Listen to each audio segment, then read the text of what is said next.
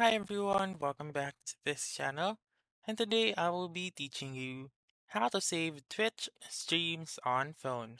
So let's begin right away.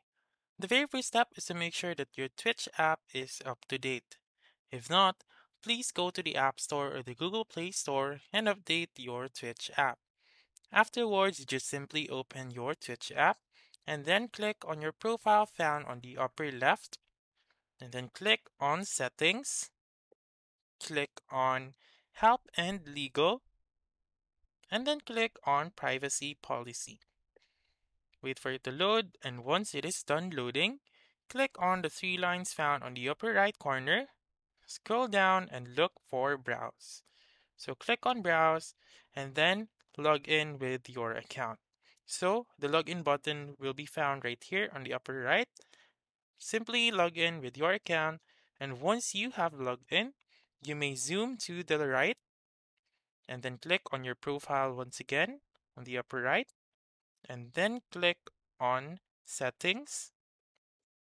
Wait for it to load and click on channel and videos this one. Once you're in channel and videos you may click on the three lines once again found on the upper left corner and then choose stream. Click on stream, click on the three dots, I mean three lines, scroll down and look for VOD setting.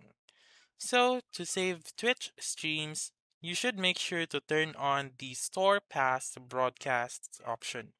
So I'll just turn it off first. So click on the toggle button to turn it on and then that's it. That's how you can save Twitch streams on phone. So that's all for this video. Let me know in the comments section if this works out for you.